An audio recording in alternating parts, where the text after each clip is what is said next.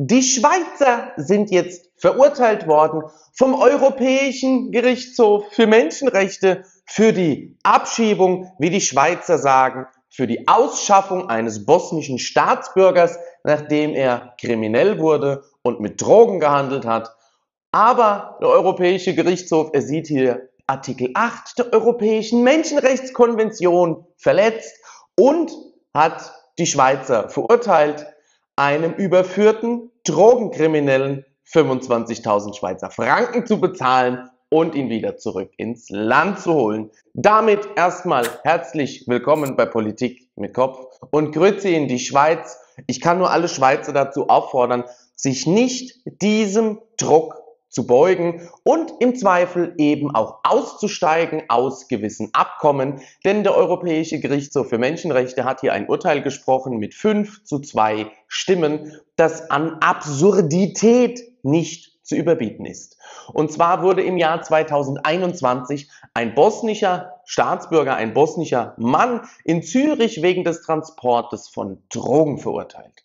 Er wurde danach aus der Schweiz ausgeschafft, aber es ist jetzt hier nicht genügend Würdigung gegenüber den Umständen des Täters erfolgt, so der Europäische Gerichtshof für Menschenrechte, die gegen eine Ausschaffung gesprochen hätten. Da muss ich nochmal dran erinnern, dass wenn fremde Staatsbürger in einem Land zu Gast sind, der Gastgeber jederzeit, wenn man kriminell geworden ist, einem hinauswerfen kann. Selbstverständlich muss das das souveräne Recht eines Staates sein. Und ja, dieses Recht muss auch die Schweiz besitzen.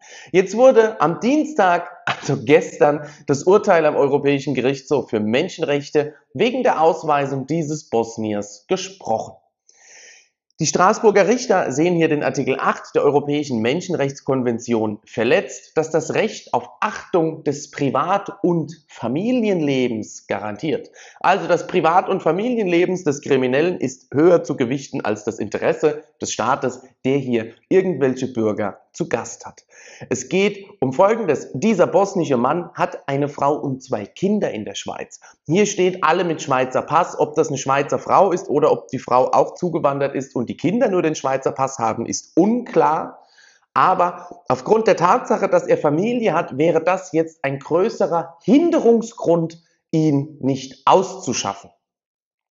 Ihr denkt euch jetzt, er ist wegen Drogentransport verurteilt dann mal Butter bei den Fische. Was für Drogen, welche Menge, zu was ist es hier überhaupt gekommen? Es macht dann nämlich doch einen Unterschied, ob das ist wie in Deutschland, wegen zwei Joints ist man dann hier Inzwischen jetzt nicht mehr, aber lange Zeit war man dann hier direkt Verstoß gegen das Betäubungsmittelgesetz, Mindeststrafe über ein Jahr und so weiter und so fort. In der Schweiz ging es hier um 194 Gramm Kokain. Also harte Drogen, große Menge, großer Wert das ist nicht nur eine Bagatelle, aber er ist zur Bewährung verurteilt worden, dieser bosnische Mann in der Schweiz, weil er zuvor noch nicht straffällig in Erscheinung getreten ist. Und genau das ist jetzt hier zum Verhängnis geworden.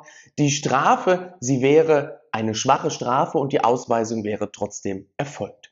Es ist nämlich hier so, dass sie sagen, die Strafe war mild. Zu dieser milden Strafe ist es gekommen, weil er auch noch kooperiert hat, zusätzlich zu der Tatsache, dass er nicht vorbestraft gewesen ist. Die Wahrscheinlichkeit einer Wiederholung fiel laut Gericht gering aus und trotzdem wurde er aus der Schweiz verwiesen, wo ich nur sagen kann, wenn der Gastgeber sagt, du darfst gar nicht straffällig werden, du hast auch nicht einen Fehlversuch, sondern gar keine, dann kann man dich selbstverständlich rauswerfen. Man wirft den Schweizer Richtern jetzt hier vor, man hat die Ausweisung des Mannes nur forciert und die Familie gar nicht in Betracht gezogen. Zudem wäre jetzt auch noch eine Arbeitsstelle für diesen Bosnier in Aussicht gewesen, wo ich sagen muss, ach so, der war auch noch arbeitslos. Ist ja interessant, hat man dann komplett weggelassen. Das Gericht hat jetzt hier entschieden, 10.000 Euro für immateriellen Schaden gibt es dem hat es dem Kläger zuzustehen, sowie 15.000 Euro für die Kosten und Auslagen. Ebenfalls ist die Ausschaffung illegal gewesen sozusagen. Wenn die Schweizer das jetzt akzeptieren, haben sie ihm 25.000 Schweizer Franken zu geben, wenn er über die Grenze kommt und er darf jederzeit wieder einreisen. Das ist an Absurdität nicht zu überbieten. Ja, das ist absolut an Absurdität nicht zu überbieten. Ich könnte ja verstehen, wenn man hier Rechtsschutz hätte, wenn man hier ohne Begründung ausgewiesen wird. Aber nochmal, der Gastgeber schreibt vor, was die Regeln sind. Das gleiche ist, wenn ihr einen Geburtstag feiert, ja? Also ist okay, ist ein blödes Beispiel, aber ihr sagt den Leuten Schuhe ausziehen oder Schuhe anlassen. Ihr sagt denen hinsetzen auf der Toilette oder stehen, ganz einfach. Und im Zweifel werden sie dann nicht wieder eingeladen. Und ja, auch auf Geburtstagsfeiern gibt es Ausschaffungen sozusagen der schwer Betrunkenen und der schwer Aggressiven, weil die will man nicht haben, man möchte die Party zu Ende feiern. So möchten auch die Schweizer ihr Land genießen und ich gönne es jedem Schweizer und sage nochmal Grüezi in die Schweiz. Schön, wenn man sich das dort leisten kann. Immerhin ist es dort noch wesentlich sicherer als bei uns, auch wenn es dort viele, viele Nachteile auch mit Sicherheit gibt. Dort kostet alles dann immer extra Geld. Diese Gerichtsentscheidung ist ein Schlag ins Gesicht von jedem Souverän, nicht nur in der Schweiz, sondern in ganz Europa. Wenn die Schweizer das sagen oder wenn wir Deutsche sagen, du bist kriminell und raus da vorne ist die Tür, ja, dann kommen andere immer, ja, aber Deutsche kann man auch nicht ausweisen. Ja, ist ja auch Deutschland. Ja, inzwischen ist es Absurdistan oder Germanistan. Es ist also Kalifat Köln, ja, oder Köln sieht aus wie Bagdad. Ich, also, ich habe ernsthaft mal nachgeschaut. Es gibt ein Bundeslagebild zu Sprengstoffexplosionen. Das ist allerdings von 2021. Was Neueres gibt es nicht. Und in dem von 2021 steht dann drin, dass sich die Zahlen der Sprengstoffexplosionen in den letzten zehn Jahren verdoppelt haben. Ich rechne fest damit, dass wir aktuell auch eine Verdopplung seit 2021 haben und mal schauen, ob wir einen Bundestagsabgeordneten finden, der dieser Frage mal etwas nachgeht und der Bundesregierung mal auf die Füße tritt mit dem Hinweis, Paragraph 308 Strafgesetzbuch Sprengstoffexplosion wird extra geführt in der polizeilichen Kriminalstatistik. Das BKA ist damit befasst und damit liegt es bei Nancy Faeser, bei der Bundesinnenministerin. Damit kann sie nicht wieder die Schuld von sich weisen. Aber in Köln vermuten sie sogar, dass es der gleiche Täter ist, der hier zwei Bomben in einer Woche gelegt hat. Das ist völliger Wahnsinn, Leute, ja? Und dann, nee, nee, nee, nee, nee. Nicht aufregen, Blutdruck senken, lieber mal zurückschalten. Es ist ja wirklich völliger Wahnsinn, Leute, ja? Was, was soll man da noch sagen, ja?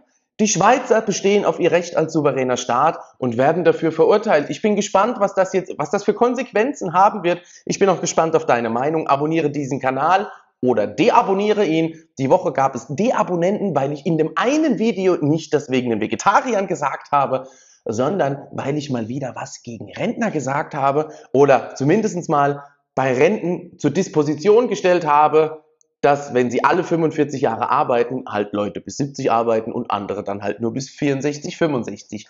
Und dass ich gesagt habe, Friedrich Merz wird neuer Bundeskanzler, wollen manche Leute nicht hören. Da sage ich immer nur, ich lebe in der Realität. Ich möchte auch nicht unbedingt Herrn Merz als Bundeskanzler haben, aber was wird uns zur Wahl gestellt am Ende? Habeck, Merz, Scholz, Alice Weidel. Und dann da ist keine realistische Mehrheit für eine Alice Weidel. Da gibt es einfach keine. Es passiert ja jetzt nicht mal auf Landesebene. Schauen wir, was am Sonntag passiert in Brandenburg. 40 Prozent, ich glaube nicht daran. Es geht den Leuten einfach noch zu gut, beziehungsweise sie leben in einer völligen Scheinwelt, in einer Illusion, in der es keine Zunahme von Messerkriminalität gibt. Sagen viele von den Linken wirklich, die sagen, das sind nur die Zahlen, die steigen. Das ist wie Robert Habeck. Aber bevor jetzt der Blutdruck steigt, sage ich, Abonniere diesen Kanal, X und Telegram. Ansonsten sage ich ciao. Bis bald.